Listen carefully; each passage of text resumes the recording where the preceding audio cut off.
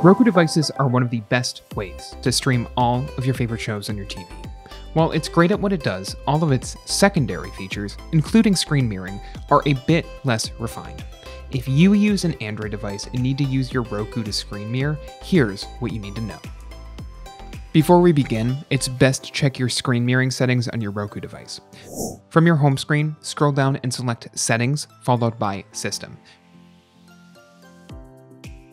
From here, select screen mirroring and check that screen mirroring mode is set to prompt for more control over what can be mirrored on your Roku device.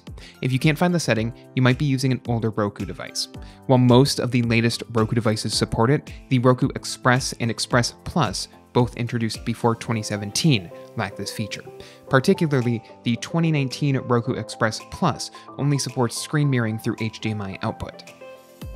Once that's done, unlock your Android device and swipe down twice to access your quick settings menu. Look for a tile labeled Smart View or Screencast. If you don't see a tile, you might have to add it. How exactly to do so depends on which version of Android you're using and which device in particular you own. Tapping on this tile will bring up a list of compatible devices you can mirror to. Select your Roku and a prompt will then appear on your TV, notifying you that your device would like to cast. Choose Allow for one time permission, or Always Allow if you want to skip this step the next time you connect your device, and you'll see your device mirrored on screen.